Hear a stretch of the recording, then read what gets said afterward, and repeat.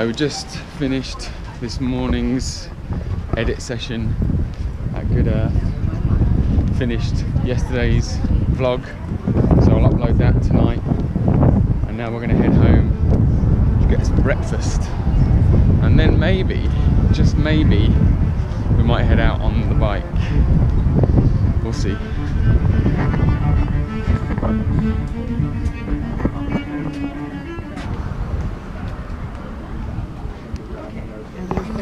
Always be Stravaing.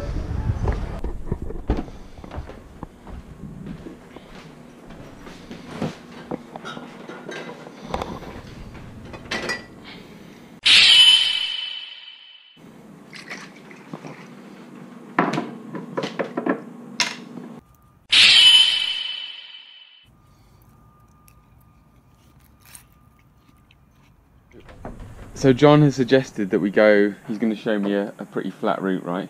I believe it is. Right. Okay. And we're gonna. we I wasn't gonna ride, but now we are gonna ride. And as long as it's flat, then I'm just gonna spin my legs out, and should be good. Should be good recovery. But um, yeah, it's the hottest part of the day. It is the hottest part. Let's go.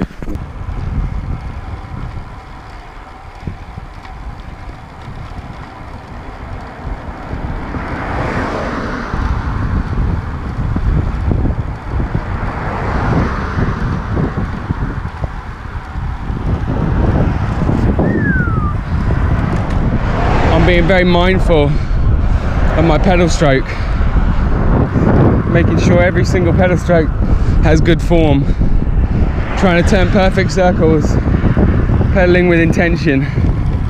Because as soon as I start to lose focus, just uh, my legs don't feel so good. I need to be pedaling with intention right now, as I should be always, but it takes a lot of focus but I know at the moment the focus I'm focusing because it's painful. If I don't pedal with intention in perfect circles stretch that leg out with form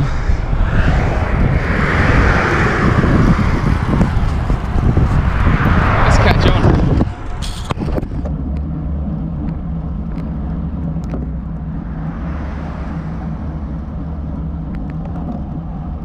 Is it just me, or can you also not resist it when a cyclist passes you to catch on? I can't do it. I can't not catch up to another cyclist when they pass me. I'm not, uh, especially here in California, I'm not used to the amount of cyclists en masse, and there's no way that I'm going to let two fit looking humans pass me and not want to catch up to them. So that is what we're doing. Even though we shouldn't be, and I'm doing that thing that I said about the other day, my mind getting ahead of my body my my body I should be spinning my legs and just concentrating my pedal stroke doing that. And instead my excitable puppy mind is catching on to these guys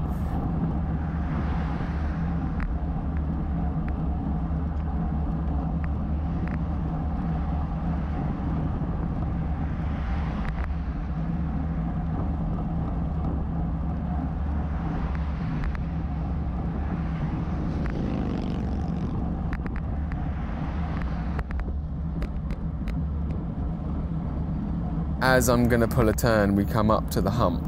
And just as I can't let a cyclist pass me without catching on, I also can't go over a hump without giving it some gas. and so I gave it some gas. But as I go past, I think the idea in my head is not the idea they have in their head.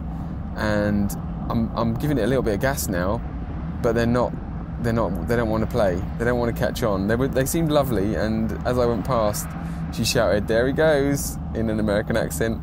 But uh, yeah, that kind of told me that yeah, they didn't they didn't want to chase me, and we weren't going to be best friends. Oh well, I'll go for the segment anyway.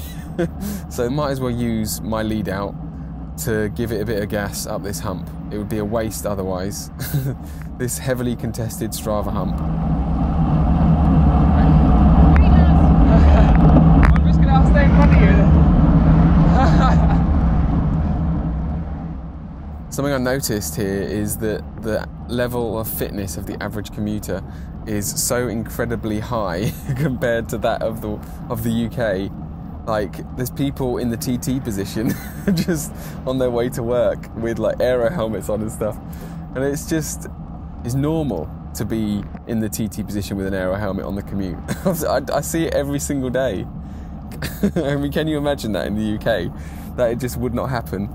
And it's just how the terrain and the weather makes it normal. It's normal to just be a fit human out on your bike because the weather and terrain are conducive to that being the case, which unfortunately in the UK it is not. You know, you have to try. There are no excuses here in California not to be fit as fuck and out here enjoying the bike, getting it done, just like these guys are doing.